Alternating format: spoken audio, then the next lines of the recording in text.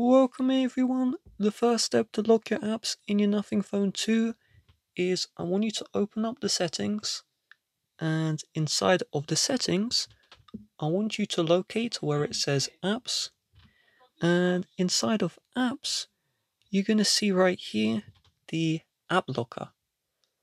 And then we're going to set a screen lock. If it asks I'm going to do that one now. And in the app locker let's turn on some apps to lock. So select the apps you want to lock and you can see here lock app when and what we can uh, select is when screen is locked or app exits. Now if I open up the Chrome it wants my login information. See every single time boom and the app has been locked. With that being said if you'd like to help support the channel please do check the description. Bye bye